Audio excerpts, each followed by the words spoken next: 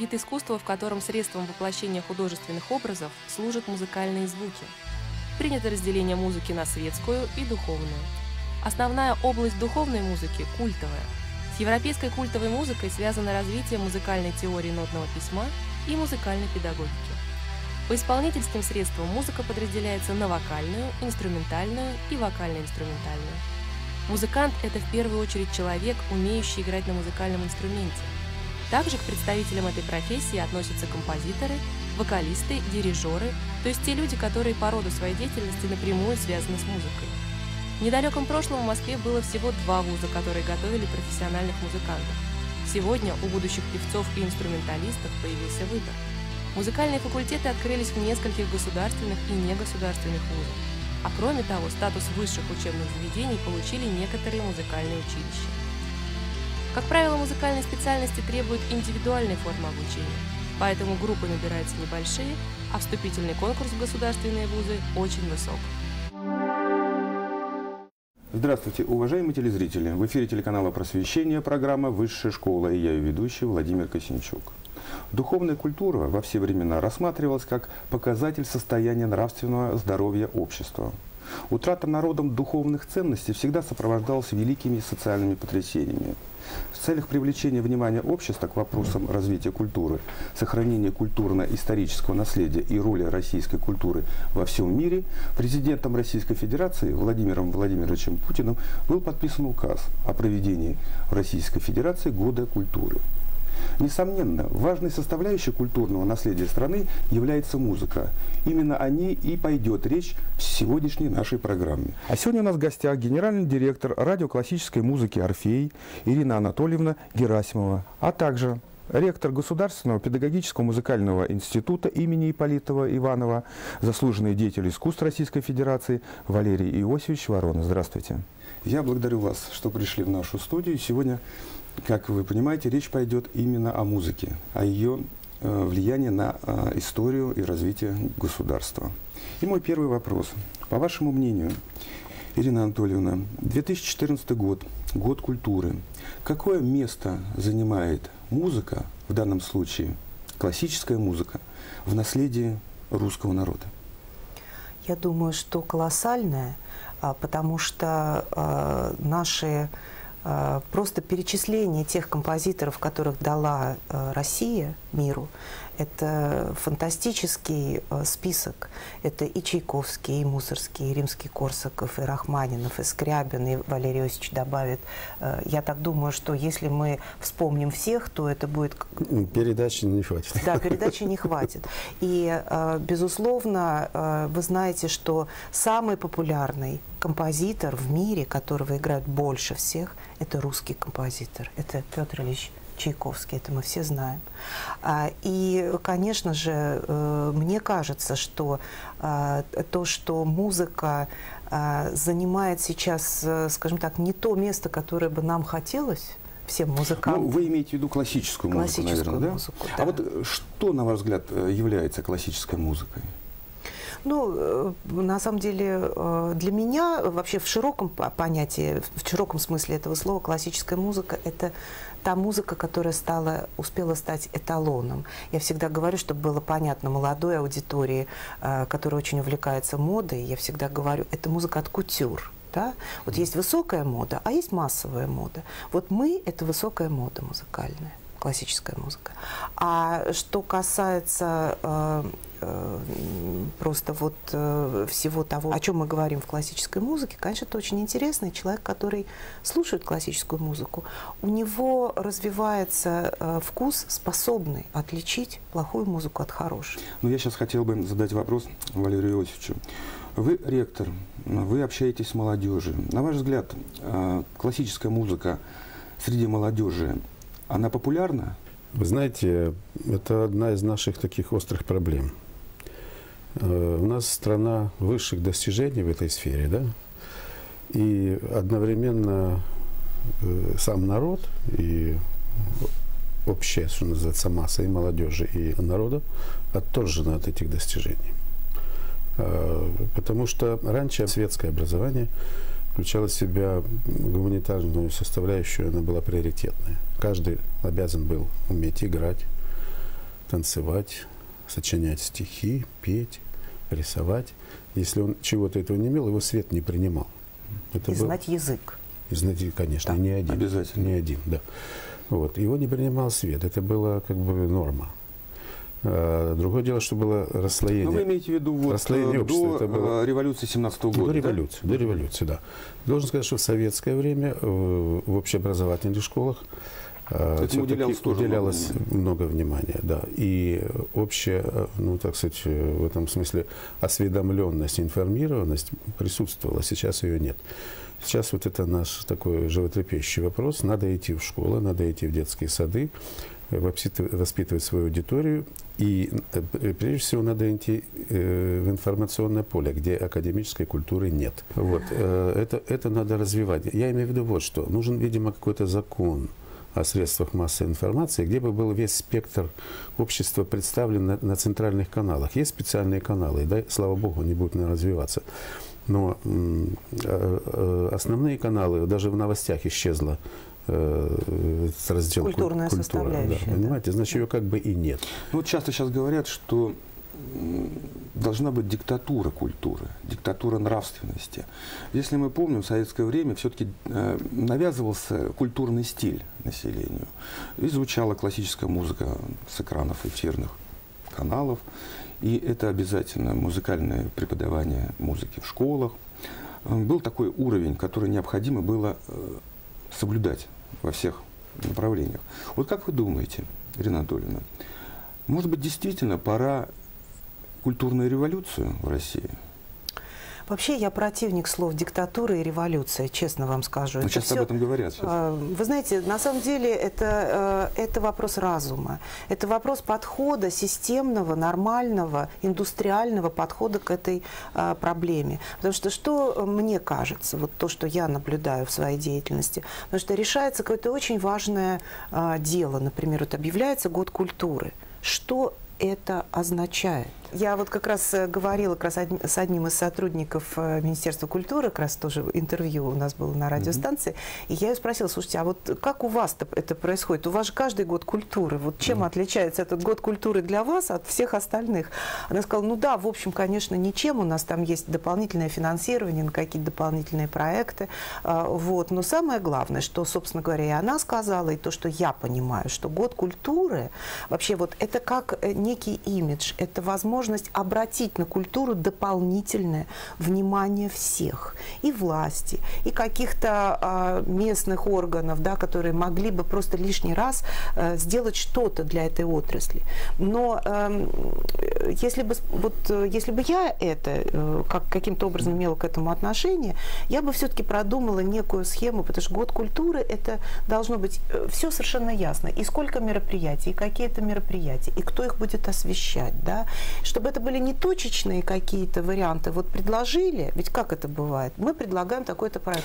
Да, нам интересен этот проект, мы берем это все. Там будет создана специальная комиссия, которая будет регулярно предлагать и, я так понимаю, оценивать э, результаты, которые будут. Понимаете, мне кажется, что это должно немножко э, идти э, как бы по-другому. Мне кажется, что страна должна сказать, мы хотим, вот это, у нас есть вот такие проблемы в культуре. Тогда другой вопрос, да? Валерий Иванович. Ну, вы очень часто ездите э, за рубеж со своим коллективом. Скажите, пожалуйста, что во всех странах культура – это дотационная отрасль, не приносящая никакого дохода и является или социалка, или бюджетное финансирование осуществляется, или все-таки нет? Ну, процент, который выделяется на культуру, там, конечно, больше, вот из, э, из общего бюджета. Это раз. Но второе, там очень мощно вот, используются ресурсы общественные – потому что законодательство этому способствует. Там выгод... законы? Да, конечно. конечно. Там, там выгодно быть меценатом, спонсором. И э, должен сказать, что большие оркестры, там даже у каждого там первый пульт свой спонсор, второй пульт, там это очень развито. И м, очень выгодно строить залы. Вот Москва такой огромный мегаполис, да, крупнейшая музыкальная столица мира – живет на одном зале, большой, большом зале консерватории, построенном 150 лет назад. э, ну, может быть, не 150, Ну, консерватории справедливости 150, зале, залу еще меньше. пару залов залу еще меньше. Но в Москве с такой акустикой нет зала. Ну, с такой акустикой, да. А зачем зал без, без акустики строить? Это сейчас на Западе на акустику уходит почти тот же бюджет, который на... Мы вот были с нашим оркестром в Корее, там трехтысячник. Потрясающая акустика, где вот шепотом разговариваешь на сцене и, и слышно каждое слово, понимаете? Ну вот для, для того, чтобы все-таки культура была отраслью, которая приносила бы прибыль, как, как на ваш взгляд, что нужно делать? Вот Ведь- надо, надо прежде всего э, закон о меценатстве, который с начала 90-х годов лежит Мгм. и э, не дает ему ходу, ввести в нашу практику. Почему этого боятся? Аргументация никому не понятна. Ну, почему-то боятся, не вводят. Вот, э, внятного объяснения этому нет. Я был еще при президенте Ельцине в Совете по культуре. Тогда это активно, за это воевали, обсуждали. Сейчас я тоже в, в- в Совете при председателе Госдумы, в Совете по культуре, тоже активно обсуждается тоже. И никак этот не могут принять закон. Это, понимаете, нам сказали, ребята, социализм закончился, крутитесь как хотите. Ну, это значит, что нас выбросили на обочину, так грубо говоря, да? Но надо тогда создать какие-то условия законодательные для саморазвития. И вот мы создали фонд сами, как бы экспериментально, да, чтобы показать, что может общественность. И за 20 лет мы сделали немало. Это снимаем серьезную нагрузку с государства. Это, во-первых, и для общества выгодно, потому что равновесие в обществе появляется, когда каждый может себя реализовать, объединяется по интересам, начинается активная жизнь, люди начинают понимать, что они как-то могут влиять на ситуацию, и уходит эта социальная напряженность, понимаете? Это во, во всех Я смыслах. совершенно согласна. Со всех, во всех смыслах полезно, полезно стране. И э, экономическая составляющая, э, она у нас вообще не используется. Потому что э, мы растим музыканта больше 20 лет А потом? за государственный счет. А дивиденды идут западным продюсерам. Это очень легко повернуть в нашу Абсолютно. сторону. Это серьезные валютные поступления, которые при госконцерте были в советское время. Другое дело, что там артисты ничего не получали. Но государство хорошо получало. Вот. И сейчас надо это как-то баланс э, сделать. Это легко делается. Вот если бы, например, у нас было законодательство, вот, связанное с меценатством, да, мы могли бы создавать эндаумент-фонды, как на Западе. Э, Я вам скажу, что эндаумент-фонд Гарвардского университета 37 миллиардов. Они живут на проценты и очень хорошо себя чувствуют. Куда нам за ними гнаться? Надо нам создать эти ресурсы. Будет нашим, э, у нас есть богатые люди, которые с удовольствием в это вложат. Но они это должны делать, нарушая закон сейчас. Понимаете? Ну, у нас очень большая страна, Да, очень, очень много большая. регионов. И часто говорят, что культура, культура в основном находится в центральных городах России. Хотел бы вас спросить, ведь э, тот закон, тот указ, который был подписан, он направлен прежде всего на регионы. Ну, Там в законе прописано, что и центры будут культурные строиться. На ваш взгляд, меняется отношение к классической музыке, к русской музыке? Я скажу так, по моему мнению, меняется В какую сторону? в лучшую, в лучшую. Но а, проблема, опять же, для рынка, вот для всей индустрии в том, что она никак не исследуется. Мы не знаем этих цифр. Ведь смотрите, есть же э, там у телеканалов, у радиостанций, вы прекрасно знаете, меряются рейтинги, да, замеряются специальными фирмами, которые оп- делают опросы. Каким-то образом эта статистика известна каналам. В нашей отрасли, вы знаете такую статистику? Нет, ее нет. И я просто. не знаю, ее Ну, нет. Никто Да. не озаботился. А вот по-хорошему, вот начинать надо с этого. Понимаете? Потому что мы не понимаем своего рынка. Где у нас наш слушатель? Где он? Он есть в, в регионах или нет? Вы мне сейчас задали этот вопрос. Я не могу вам э, э, точно ответить на этот вопрос. Я не знаю, потому что у меня нет этих цифр. Ваша радиостанция «Орфей», она имеет выходы в регионы? Если да, Да, у то нас на каких частотах? Да. э, У нас э, выход в регионы, мы вещаем в девяти городах. Значит, э, к сожалению, в Питере, это, это наша трагедия, мы имеем УКВ частоту. Потому что да? в Питере просто нет, это не потому, что мы такие ленивые, в Питере просто нет свободных FM-частот. Невозможно. Пока невозможно. А это тоже это целая история, это надо разрабатывать частоту, это надо заявлять, вы знаете, как это все происходит. Нужно идти на тендер, нужно э, выдерживать э, невероятную конкуренцию коммерц, с коммерческими станциями. То есть это очень непростая история. Но тем не менее, у нас есть FM эм в Кургане, у нас есть FM эм в, в Смоленске, у нас FM эм, в Москве, который нам очень тоже тяжело дался, но мы гордимся то, что мы сделали это, тем, что мы сделали это. И вот сейчас, буквально перед Новым годом, э, вышла а, «Орфей Казань». Это тоже наша большая гордость, потому что вот это как раз а, новый опыт для классической музыки – это меценаты. Это не есть... мы выигрывали частоту, а они попросили у нас наш контент. То есть востребован. Того... Востребован. Они очень хотят в Казани. Казань – прекрасный музыкальный центр, кстати говоря, где в последнее время очень оживилась э, жизнь в области классической, э, классических Там жанров. очень сильные традиции. Да. да.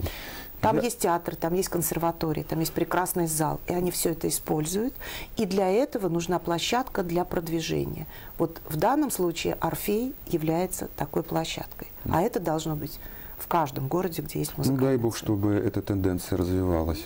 Я бы хотел одну реплику да. еще добавить к этому, что у нас нет профессионального понимания и подхода к самой функции культуры в жизни общества. Нужны специальные исследования, чтобы это понять, э, что с культурой может быть, что может быть без культуры, чтобы понимать, куда мы идем. Потому что мы на эмпирическом так сказать, подходе это понимаем, те, кто этим занимается. Если посмотреть на нашу историю, то все прорывы в науке, э, во всех областях были тогда, когда были накопления в культуре. Когда создавалась насыщенная интеллектуальная среда в обществе, и сам уровень э, идей, он, он был над, это не открытие велосипедов. Это и когда нет, у музыки. Когда нет культуры, это открытие велосипедов. Понимаете? Скажите, каждая эпоха, она привносит в историю страны определенную музыку, определенных композиторов. Ну, допустим, Великая Отечественная война, да? Шостакович, Седьмая симфония. Никто ее не забудет. Сейчас, кстати, только отпраздновали 70-летие снятия блокады Ленинграда. И, конечно, эта симфония, она звучит, наверное, у каждого человека, который знает, помнит и чтит. Скажите, вот сегодняшняя эпоха, она отмечена какими-то произведениями такого уровня? Вы знаете, я э, немножко э, издалека начну, но коротко. Хорошо. Дело в том, что у Орфея есть специальный проект, который э, называется э, «Арена композит», «Арена молодых композиторов». Это композиторы, которые э, действительно выпускаются консерваториями, они пишут свои большие симфонические либо какие-то другие произведения, и обычно э, не могут их исполнить, ну, потому что это очень дорого, это надо нанять оркестр где-то, записать это все. И Орфей, будучи членом членом Европейского вещательного союза, где под эгидой ЮНЕСКО существует конкурс таких вот молодых композиторов, мы инициировали эту историю здесь. И каждый год у нас э, где-то мы отбираем по, по партитурам, наши специалисты, эксперты отбирают э, пять произведений, мы их записываем в пятой студии, они звучат, и посылаем туда, вот на эту арену композиторов э, в ЮНЕСКО. ЮНЕСКО. Да, и там уже общий мировой конкурс проводят, и вот за 7 лет, которые мы этим занимаемся, значит, впервые после 20-летнего или 50-летнего перерыва, впервые наш э, российский композитор э, вошел в тройку. Мы были безумно горды этим. Вы его, можно сказать, открыли, ну, практически, да, да. А что это означает для композитора? Это означает, что все радиостанции, входящие в Европейский вещательный союз, а это все радиостанции Европы, плюс ассоциированные члены и Китай, и азиатские, и американские, они э, забирают это произведение, они обязаны его протранслировать. Для начала обязаны, обратить внимание на это слово, да, просто вот если ты побеждаешь на этом конкурсе, все станции обязаны 9 раз за год протранслировать это произведение. Это колоссальное продвижение. Это колоссальный промоушен для этого композитора. Валерий Ильич, э, глобализация. В указе президента сказано о самобытности, о культурно-историческом наследии. Скажите, пожалуйста, вот глобализация не может ли каким-то боком помешать все-таки сохранению исторического наследия русского государства?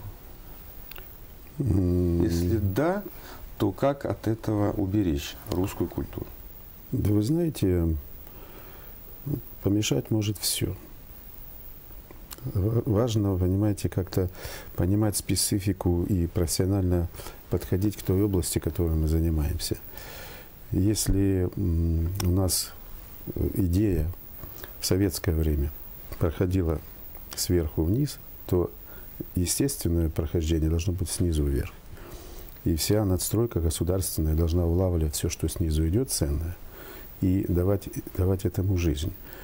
Мы воспитываем нестандартных людей. Мы воспитываем людей, не похожих друг на друга. Мы воспитываем уникум. Это тоже надо понимать, это наша социальная функция и образовательная функция. Без этого не может быть исполнителя, не может быть композитора. Вот. И, собственно, даже в этом есть и ответ на ваш вопрос, как отражается сегодняшнее время. Оно отражается тем, что есть острая востребованность в самобытных людях. Если э, э классика, Моцарт, Гайн, Бетховен, они примерно писали по одним канонам, которые возникли в обществе, нарушение их было э, табу, нельзя было, да? То 20 век как раз э, характерен тем индивидуализацией стиля, потому что востребованность личности именно нужна, и искусство всегда оно идет впереди. Собственно, в чем наша функция? Мы разведчики, куда дальше идти обществу. А за нами должно идти общество, понимаете? И вот каждый, э, э, вообще музыка, э, ее основная функция – это та, что не может дать ни, ни, ни, литература, ни живопись, ни какое другое искусство она, э, вот э, все, что наше сознание осознало из космоса, да, это маленькая толика, то, что мы можем назвать словами, чем-то еще из космоса э, микроощущений, которыми мы живем. Вот микрокосмос, да, вот музыка это ее функция, она как ничто может отразить этот микрокосмос, который не поддается никаким как сказать, там... Э, Вербальным да, описанием. Абсолютно. Это то просто надо понимать и к этому правильно относиться. И талантам надо доверять. У нас их любят строить, как в армии, э, по ранжиру, да, а им надо доверять. И от каждого... Это поле, которое засеивается без всяких гарантий, что там зайдет что-то уникальное, но его надо засеивать. И ждать, и верить в то, что что-то появится. Это единственный путь. У нас, к сожалению, это не все понимают. И поэтому вот композиторы сейчас каждый пишет в своем стиле. Вот в этом, может быть, он отражает эпоху и востребованность этого, mm-hmm. понимаете? Я прошу mm-hmm. прощения, можно я добавлю да, сейчас конечно. два слова? Дело в том, что радио а, «Орфей» является наследником всесоюзной редакции радио, и от них нам досталась нотная библиотека. Сразу хочу сказать, что об этой библиотеке ходят всякие слухи, что она, как, как библиотека э, Ивана Грозного, неизвестно вообще где, с ней все хорошо, мы ее разбираем, она в разборе. И вот любопытная тенденция, просто это очень очень близко к вашему вопросу. Совершенно неожиданно а, мы обнаруживаем там достаточно а, серьезный пласт композиторов, которые писали 30-е, 50-е, вот эти годы, то есть советский период. И совершенно неожиданно, это, это никому не было нужно. Вот ноты лежат, ни разу не выданные. И вдруг мы получаем просто серию запросов от э, там, э, наших друзей из разных стран а у вас есть вот такие ноты? И называют как раз вот этот период, 30-50. А у вас есть вот этот? То есть пошло какое-то осмысление того периода 20 века, который раньше э, был неинтересен. По-видимому, мы дошли как раз, вот они опередили ровно на 100 лет. Да? И да. вот сейчас вот этот столетний период подходит э, с тем, что они начинают понимать и востребовать эту музыку. Это вот просто к тому, что действительно да. это то поле, та антенна, эти люди это антенны, они с снимают какие-то на сто лет раньше. Ирина Анатольевна, ну вот э, как вы планируете эти ноты?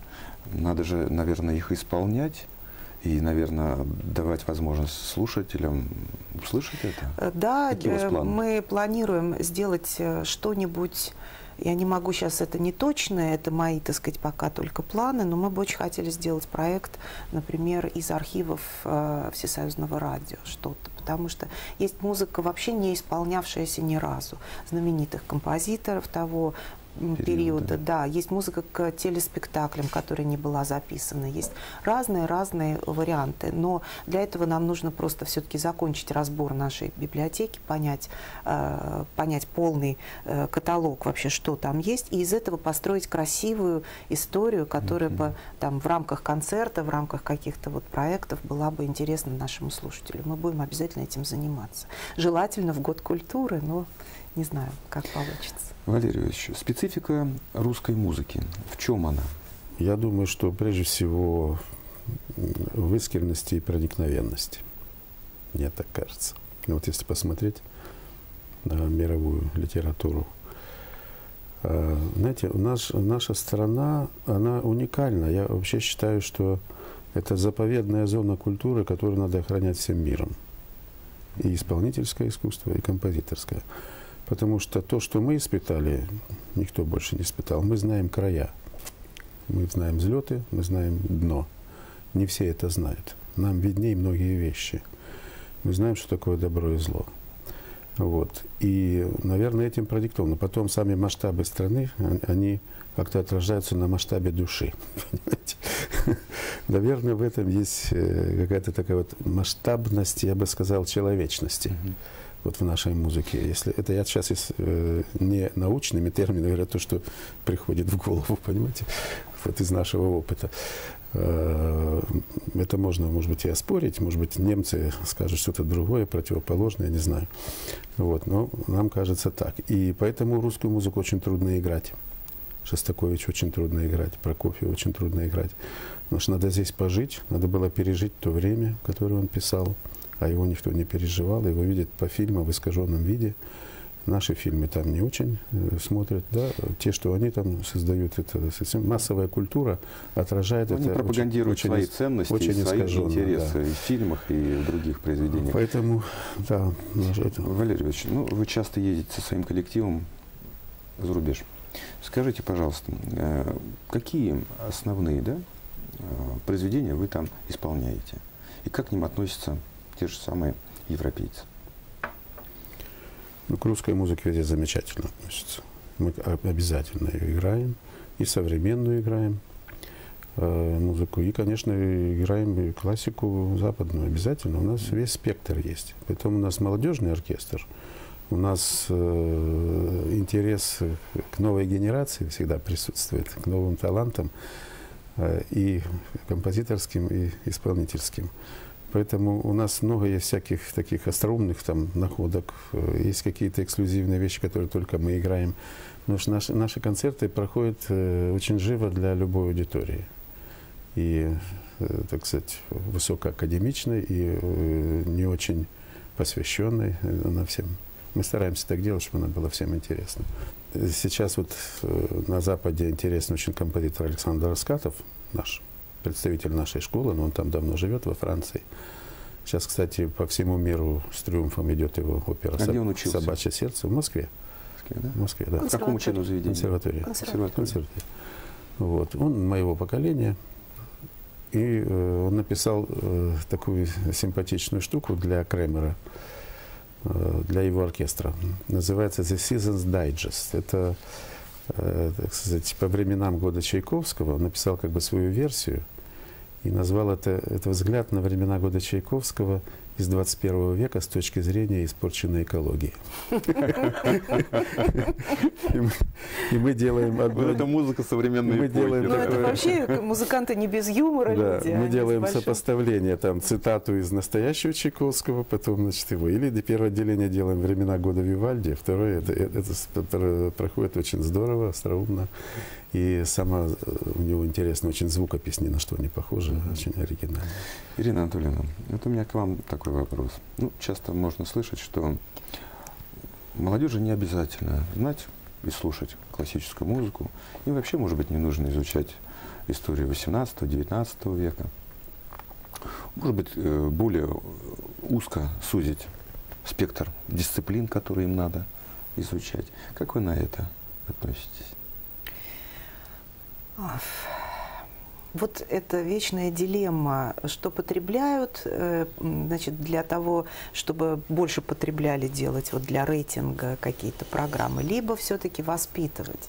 Я э, отношусь к этому очень просто. К сожалению, вот, видимо, вот этот вот барьер 90-х годов сыграл очень плохую шутку с э, нынешним поколением. Вот было что-то прервано, как какая-то пуповина вот эта вот, которая сейчас мы вынуждены искать какие-то э, нечеловеческие сложные пути для того, чтобы достучаться до этих вот э, сердец 90-х, да. И я считаю, что, может быть, действительно не стоит э, делать какие-то сложные вещи, но элементарная, э, интересная э, музыкальная литература должны, должны знать наши. Они могут не играть на инструментах, они могут там не учить ноты, но они должны знать времена года Чайковского ну, это как, э, понимаете, это как, э, ну, просто э, какой-то набор, который должен знать любой человек. А, а что происходит, если этого не знаешь? Вот ведь искусства, они очень взаимосвязаны, они корнями друг в друга прорастают, да? Если ты идешь слушать оперу Евгения Онегин, ты обязан просто прочитать литературу и Пушкина с Евгением Онегиным. Хотя бы знать. Хотя бы знать, что это. Если ты идешь слушать оперу Иван Сусанин, ты должен знать исторические факты, которые которым она посвящена. Ну, хотя бы в либретто человек это прочтет, понимаете? Если вы смотрите на какую-то картину, а, там, там тоже масса используется сюжетов и музыкальных, и литературных. То есть это все очень переплетено. И человек, который смотрит на эту картину и э, не может понять, про что она, потому что ему не дано, он не понимает, он что это там. Не изучал. Он это вот вы сказали, не слышал, Иван не изучал. Сусанин, да? да. 1612 год. Русский крестьянин пожертвовал собственной собственной жизнью для того, чтобы завести э, польский там, отряд в болото. Это история патриотизма, это история гражданина России. И в Костроме открыт памятник Ивану Сусанину. И насколько я читал, что это произведение, оно как книга, состоит из глав. И каждая глава посвящена определенному событию. Вот скажите, как вы думаете, как надо популяризировать классическую музыку, в данном случае, допустим, Иван Сусанин, среди молодежи? Какие примеры вы могли бы привести, как это надо делать? Ведь об этом не, это нужно не только слушать, э, об этом надо рассказывать. Вы знаете, вот здесь опять встает тот самый вопрос. Для какой аудитории? Она Или разная. молодежной? Нет, секундочку. Молодежная бывает разная. Молодежная, живущая на Чукотке или где-то в тундре, это одна аудитория. Ей нужно начинать все с нуля, да, и как-то делать какую-то упаковку и что-то придумывать такое, чтобы она просто заинтересовалась, для начала поняла про что, да. Аудитория, которая живет в Москве и Питере, это совершенно другая аудитория, и ее нужно чем-то заинтересовать абсолютно другим способом. Поэтому все зависит вот от э, того, кому ты несешь эту информацию. Все-таки что это такое да, э, за аудитория. И э, мне кажется, все-таки здесь сейчас очень, очень интересный тренд вообще наблюдается. Это исторический. Сейчас все увлекаются историей. Появилась масса журналов. Журнал «Дилетант», там исторический, различные э, документальные фильмы, слава богу, оживились mm-hmm. очень. Они очень интересные какие-то факты. Э, много, да, даже каналы есть специальные специальные кабельные каналы, которые занимаются документалистикой. Мне кажется, все-таки э, путь к сердцу молодежи это все-таки через такой вот э, такой популяризацию именно э, музыкальной истории. Да? Вот имена, через которые мы выходим на какие-то истории. Через истории мы выходим на их музыку. Через э, музыку мы выходим, опять же, на историю страны. Э, туризм, там, я не знаю, это масса, э, абсолютно масса каких-то вот приемов. Да? Потому что вот э, поехав, э, скажем, в туристическую поездку куда-нибудь в Тамбов, нужно посетить Ивановку. Там жил Рахманинов. Посмотрев эту Ивановку, невозможно не послушать прелюдию Рахманинова, невозможно не послушать его оперы. Послушав его оперы, невозможно не почитать про него, что же это вообще было такое. Да? А ведь э, Рахманинов для России сделал огромное количество всего, и э, в том числе и в Отечественную войну он просто переводил средства и строил танки на свои средства, хотя был человеком, который уехал туда, на Запад, но он поддерживал Россию. И мне кажется, вот через такие исторические факты можно привлечь, это очень интересно. И тогда будут слушать. Будут слушать, Будут. будут, слушать. Почему, например, вот исторический факт, почему в Израиле до сих пор запрещен Вагнер? Там не исполняют Вагнера. Почему? Вот задайте этот вопрос молодежи. Я вас уверяю, они пойдут и почитают, и постараются найти ответ на этот вопрос. То есть нужен, нужна интрига, нужна постоянно, постоянное обращение к их э, э, любопытству. Но и само собой очень важно, через что мы задаем эти вопросы. Потому что, конечно, молодежь сейчас это другие э, информационные платформы. Это iPad, это айфоны, это специальные программы на, в телефонах, это какие-то вещи, которые, эм, которые вот мне, может быть, даже и неизвестны, да, но вот надо идти туда. Это цифровые технологии, которые должны работать для продвижения классической музыки. И здесь, конечно, вот это надо нам, э, уже людям, которые вещают, которые исполняют, это надо работать мозгами и придумывать вот какие-то такие вещи программы специальные возможно. Я надеюсь, что мы вместе эм, найдем способы популяризации классической музыки, и мы с вами об этом говорили, Ирина Анатольевна.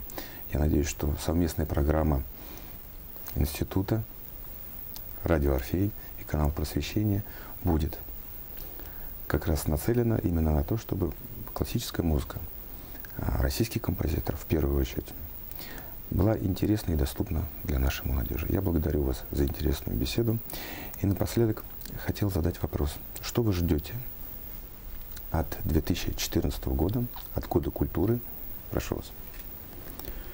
Ну, я, честно говоря, ничего не особенного не жду, но очень хотелось бы, чтобы э, просто деятели культуры и те, кто этим профессионально занимается, профессиональное сообщество, было услышано.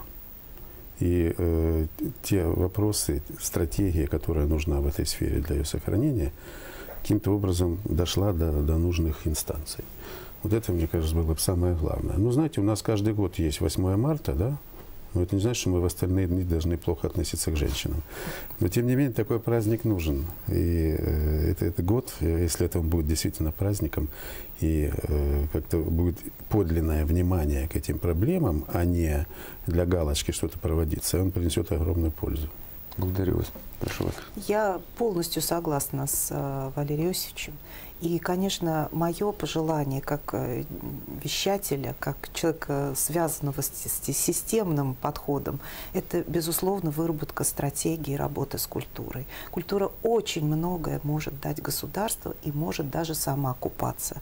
Но э, для этого нужна индустрия, выстроенная, продуманная и работающая как часы. Я должен сказать, что наша сфера – это предмет общенациональной гордости и мировой она должна стоять на витрине государства. Она у нас пока где-то в чулане, понимаете?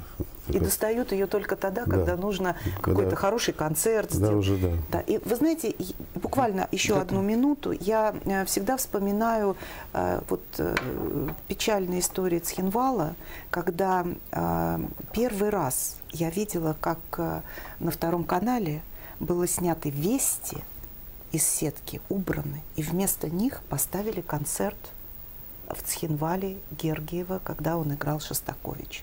То есть даже такой святой, это же священная корова, новости, вести были сняты и поставлена классическая музыка. Потому что ни одна другая музыка там бы не Конечно. звучала и не, не смогла бы звучать, кроме этой. И вот это, собственно говоря, это вот картина того, что должно быть всегда. Это действительно витрина. И это надо ценить и пользоваться этим гораздо чаще. Я благодарю вас за интересную беседу, а нашим телезрителям напоминаю, что сегодня мы говорили о роли музыки в жизни человека, о духовном возрождении российских народов и эффективном сохранении историко-культурного наследия, значительной частью которого является наследие музыкальное. С вами была программа «Высшая школа» и я ее ведущий Владимир Косинчук. До свидания.